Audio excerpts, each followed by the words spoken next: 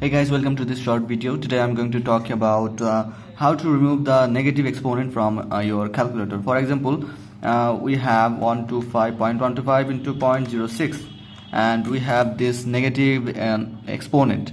So how can we remove this? So for this we have to go uh, press this mode button here, press it again and again and again and again until you have this normal uh, written here this uh, normal is under normal it's 3 so press 3 and then you are converting 1 to 2 so press 2 and then you can uh, press the same number again 0.125 into 0.06 and you are getting the number without any negative exponent. So that's how you can solve the problem of scientific calculator to um, normal calculator. So that's how it works. So you can use this so to solve your problem. Thank you